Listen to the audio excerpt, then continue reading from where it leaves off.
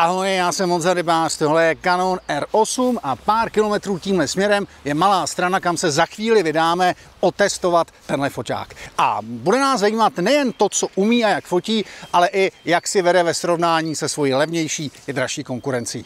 Pojďme na to.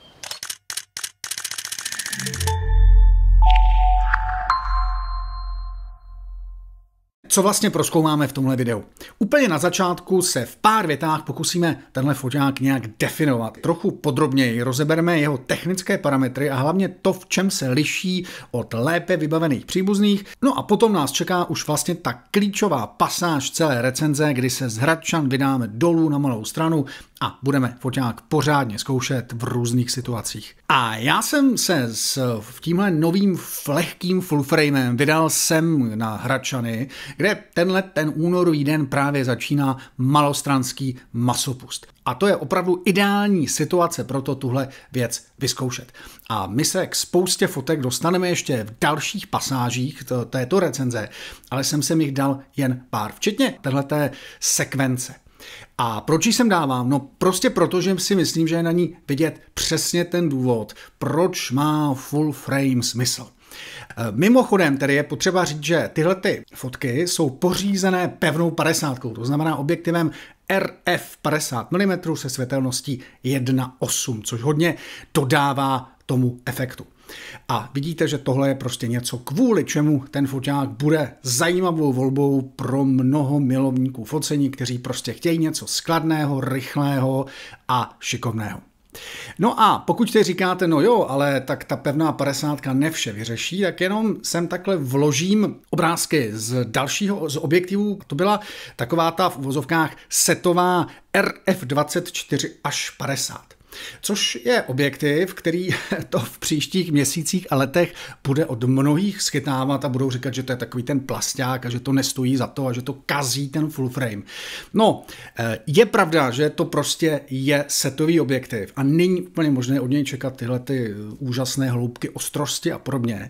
Ale na druhou stranu, jak ostatně vidíte na těchto obrázcích, i on dokáže hezky pracovat s hloubkou ostrosti a i z něj mohou vypadnout krásné fotky. Pokud bychom nyní proskoumali takové ty zásadní klíčové parametry. Eh, zásadní je, že Canon od samého začátku eh, tenhle model srovnává s jeho vybavenějším bratrem Canonem R6 Mark II a je pravda, že s ním ho spojuje několik klíčových funkcí. Tou asi zásadní pro kvalitu fotek je snímač. Ten je buď to úplně stejný nebo velmi podobný, každopádně má schodně 24,2 megapixelů. Druhou schodnou vlastností s R6 Mark II je opravdu fantastická rychlost.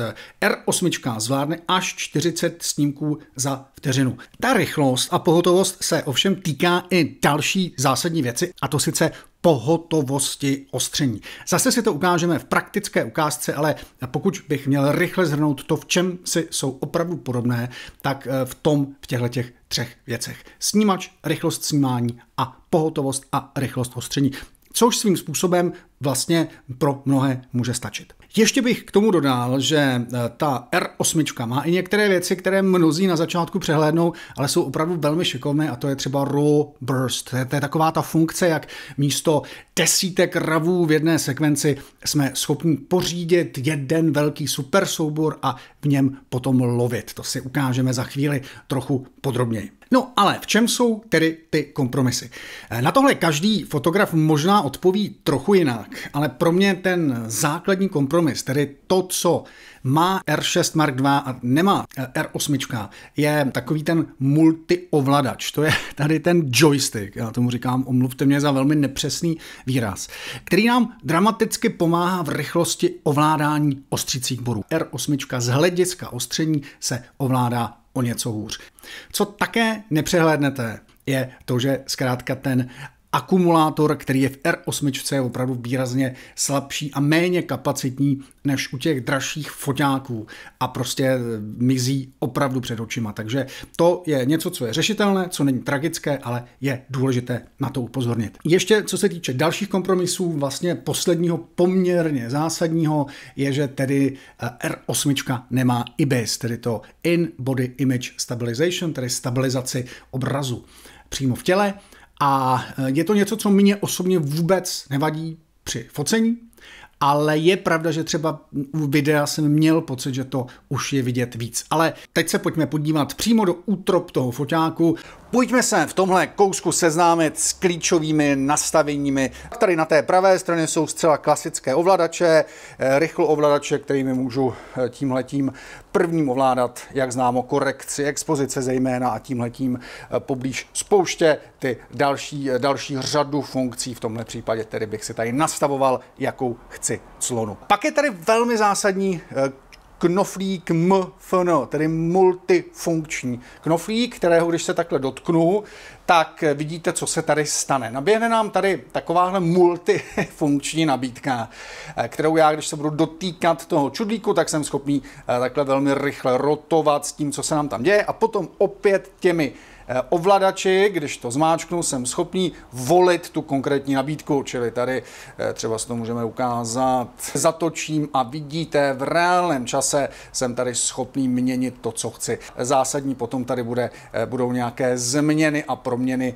systému ostření a ostřících bodů. Pak je tady tlačítko Q, tedy to, co nám tady takhle opět dá možnost rychlých voleb. Čili já do toho takto vlezu, vidíte podobně jako většinu těch funkcí v tom tlačítku multifunkčním. Já zase tady takhle mohu eh, přepínat a nastavovat. Tady mimochodem není špatné si všimnout i téhle poměrně zásadní funkce a to je nastavení detekce. Ono dřív to bývala spíš taková věc na hraní, ale dnes už to funguje opravdu velice dobře a můžete nastavit zdali systém má poznat lidi, anebo to můžeme nechat taky na automatiku, kterou jsem tam většinou měl já, protože ty lidi a ostatní zvířata to zkrátka dokáže poznat samo eh, velmi dobře. A ještě jedno tlačítko je zcela klíčové. Já když teď aktivuji právě tím tlačítkem oblast AF, dám povolit, tak mi tady nastane ten klíčový kýžený efekt, jakéhosi zamykání. Jo, vidíte, tady to mimochodem teda krásně se zamkne na oku eh, té ryby a vypadá to dobře. Znovu opakuji, my vlastně děláme takovou tu eh, starou klasickou věc, že namíříme, ukážeme tím bodem někam a e, namáčkneme do půlky a ono se to potom takhle krásně e, drží. Ještě já vám to ukážu, vydáme povolit a v tu chvíli jsme schopni zamykat bez ohledu na to, kam se díváme, tak prostě máme zamknuto. A tohle je jedna z užitečných cest, jak obejít a vůbec se třeba vyhnout tomu, že tam není ten multikontroler. Tak, tady jsme doručkovali k nastavení režimu RAW série, eh, což je tedy trošku otrocký český překlad toho, eh, čemu se anglicky říká RAW burst.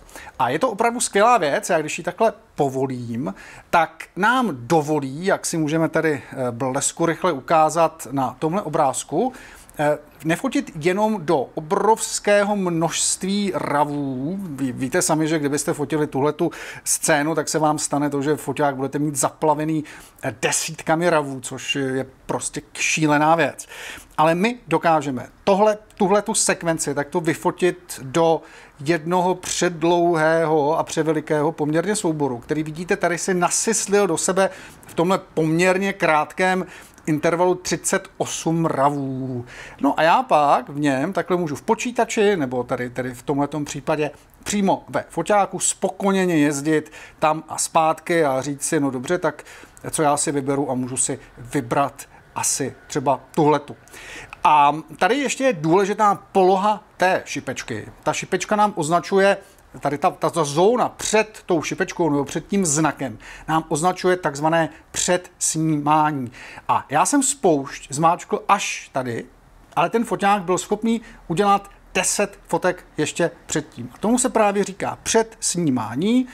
No a když bych si ten záběr vybral, to by byl třeba tenhle, tak pak dám, jak mi tady napovídá, nápověda dám set a v pohodě mohu vyexportovat tenhle jediný vybraný snímek, ať jako JPEG nebo jako RAW. No a teď už se můžeme podívat, jak foťák fotí a jak už jsem zmiňoval, naprosto fantastickou příležitost nám proto dal masopust na malé straně, který se takhle od ministerstva zahraničí, od Černínského paláce spokojeně, byť v neválném světle spouštěl dolů na malou stranu. Na těchto těch obrázcích je vážně možné zahlédnout to podstatné.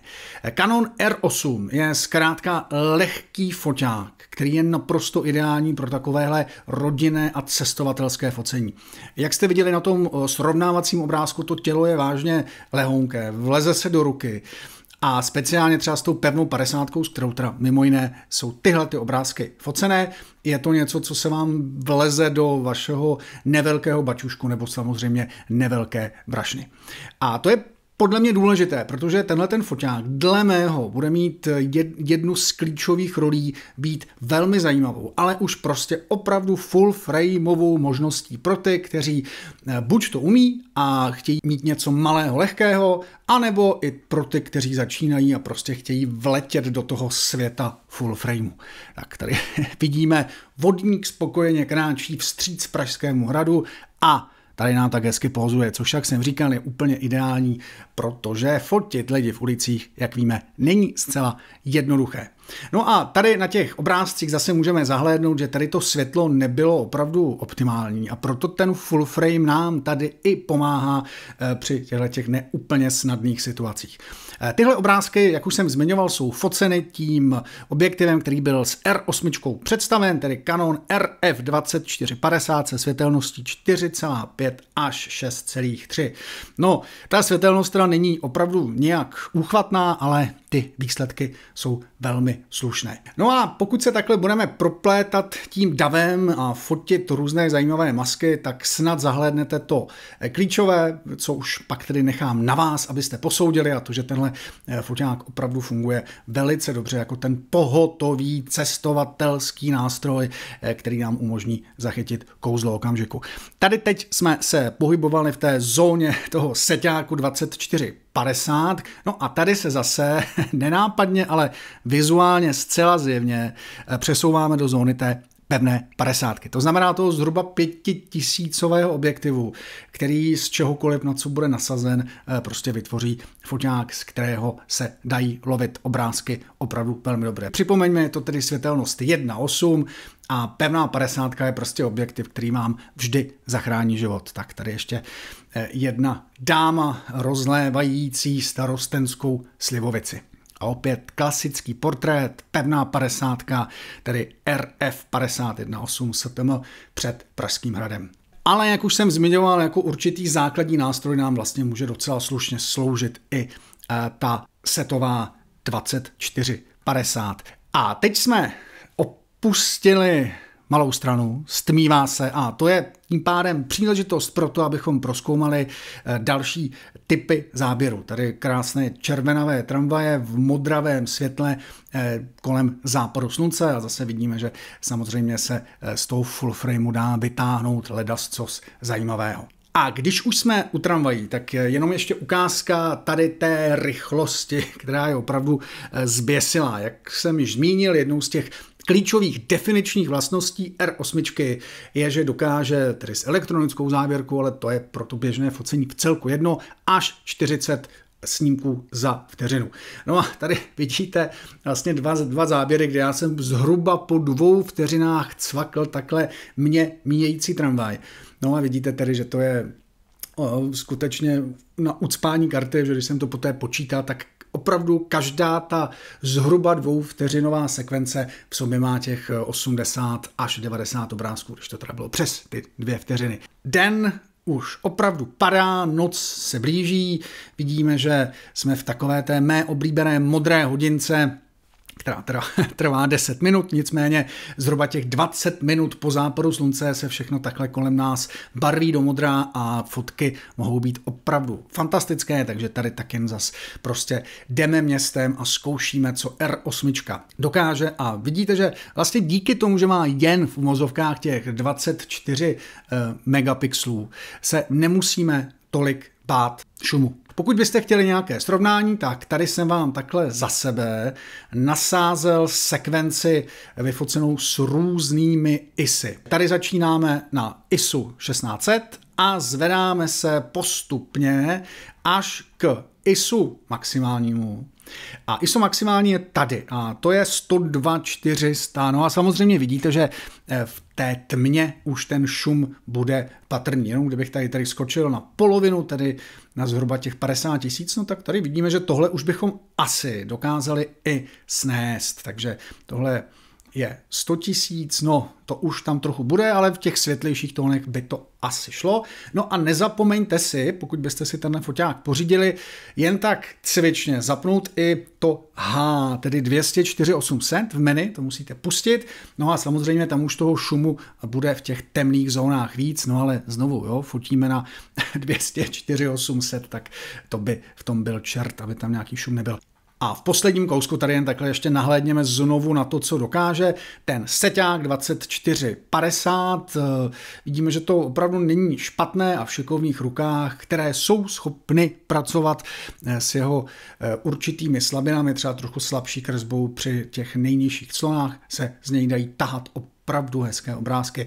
No, samozřejmě, když teď tady přejdu do té 50 na slonu 1.8, tak to všechno vypadá jinak, ale upřímně řečeno zase na těchto těch eh, jaksi šíleně rozostřených obrázcích potom už budete bojovat s tím, aby tam vůbec nějaká hloubka ostrosti byla, každý milimetr se bude počítat, tak eh, to asi přežijeme. Ale pro to, co jsme viděli na začátku, pro takové ty portréty, je zkrátka ta 50 vlastně povinná výbava. A ve městě jsme začali, pojďme ve městě skončit, tady západ slunce nad Prahou, krásné únorové světlo a krásná oblaka.